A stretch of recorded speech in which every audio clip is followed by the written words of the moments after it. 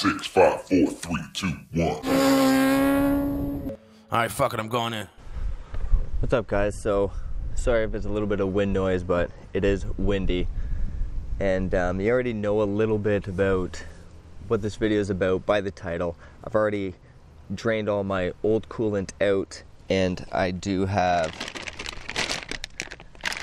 these here. So, I'm going to be upgrading to Samco hose kit.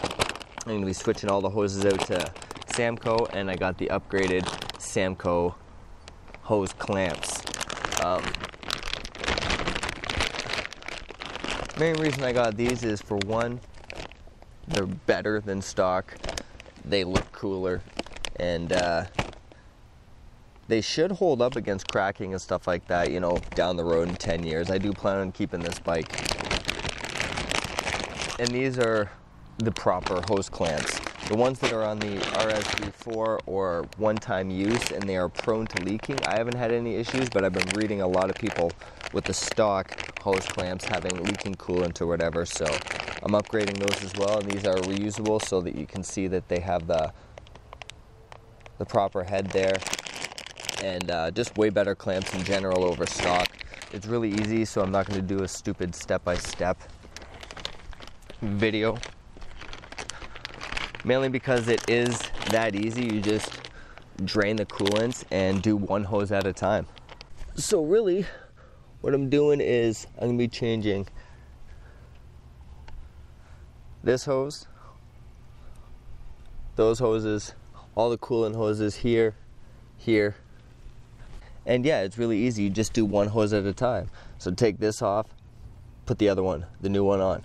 Take that one off, put the new one on. You don't want to take them all off at the same time and then you end up screwing up and it's just a pain in the ass. So literally just take one off, put the new one on, and then once I get all the Samco hoses on the bike, I'm gonna do a coolant flush with distilled water and then put engine ice in. Uh, decided to go with engine ice, give it a shot. Normally I just use regular coolant.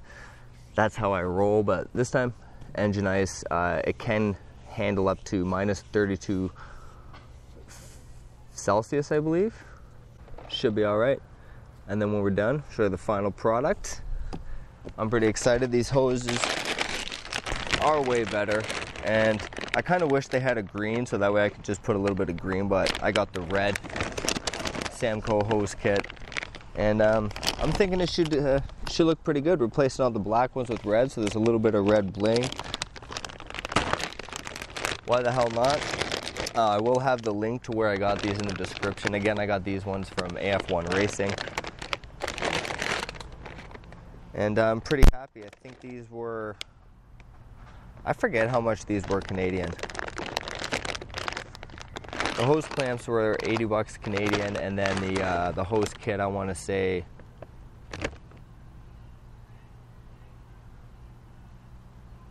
two hundred maybe 255 or something around there. I'll have the link in the description anyway. You can check it out. You can find out your US price, change the currency to wherever you're from. These are pretty dope. Uh, highly recommended. And finally, I'm gonna do it. So here we go. Check it out. All right, so you can see that I'm pretty much all done. Everything's good to go. Got it all flushed, and I put fresh engine ice in it. Uh, I wasn't going to bore you with a step by step how to change coolant hoses. Literally, you do one hose at a time. That's it, literally, one hose at a time. And I did put, uh, obviously, the red Samco hoses on there and the clamps. Um, it looks actually pretty good. A lot of these are going to be covered up. Um, this is literally just like a quality upgrade with a little bit of aesthetics. Um, a lot of these will be covered up, so it'll be hard to see it with the full fairings on. But right now, the fairings are still off.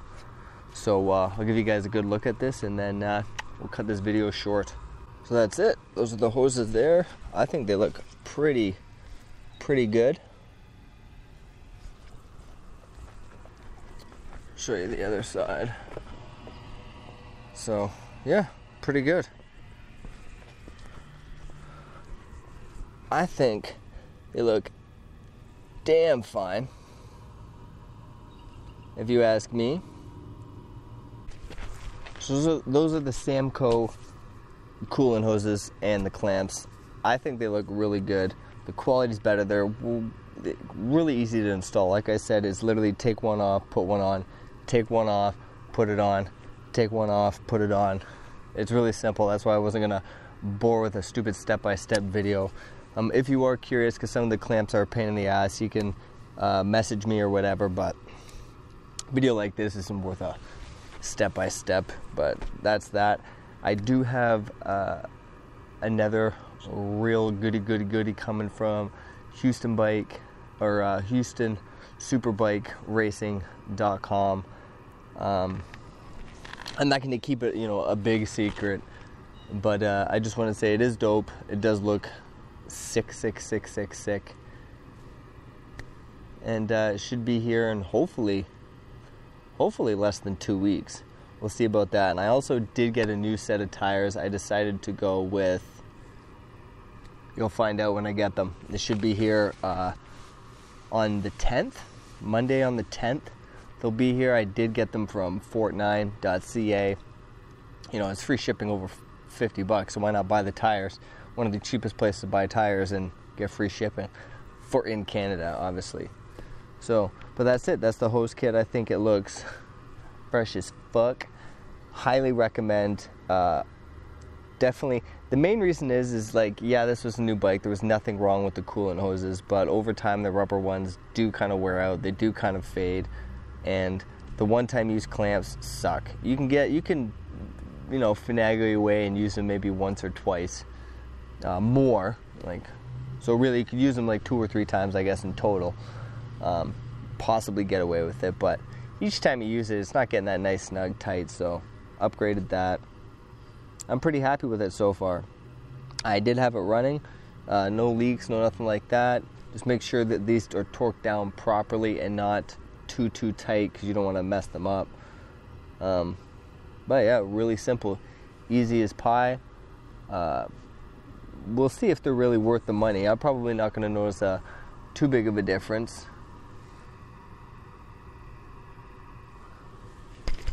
But definitely uh, happy with it.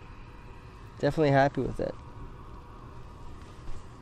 It's working well, so you guys have a good one stay tuned for uh, some more upgrade videos and definitely looking forward to getting my new tires on and drag racing got moved to June 23rd because we were rained out on uh, June 1st there so June 23rd is the the rain day for the drag race and we're gonna go hit up the track and uh, have some fun. So you guys have a good one. Peace